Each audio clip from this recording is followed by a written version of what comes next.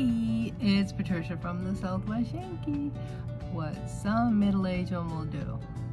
My local yokel friends, the little critters that are common to Texas. Late moment. So God made the wild animals, the tamed animals, and the animals that crawl. He told them to create their own kind and saw that it was good. Genesis 125.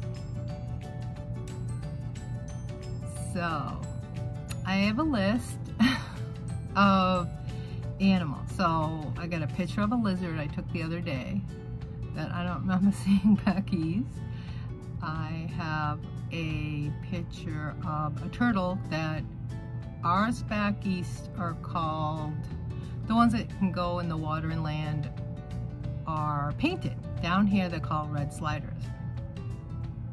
And another one, ta-da, you guys know it's my favorite, vultures. Then we got another cool animal, which I remember, I don't think they had the same name, but we had something similar, but they're called June bugs down here. And another one that's really cool, which I don't remember seeing back east, but they have them down here, they're called roly-polies. So obviously there's going to be lots and lots of pictures that I took. Yay! So voila ta-da and enjoy all the pictures.